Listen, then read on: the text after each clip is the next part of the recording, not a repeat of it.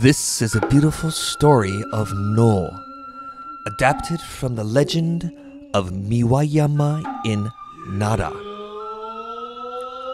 One day in deep autumn, High Priest Genpin, a well known priest of the ninth century, was willing to give his robe to a village woman in response to her request to protect herself from the cold wind.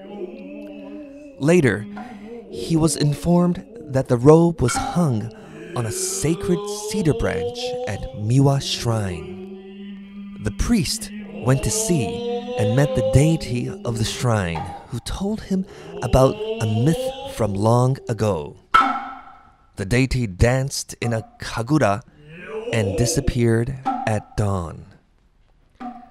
Please enjoy this most simple performance and compare it with the actual Noh performance.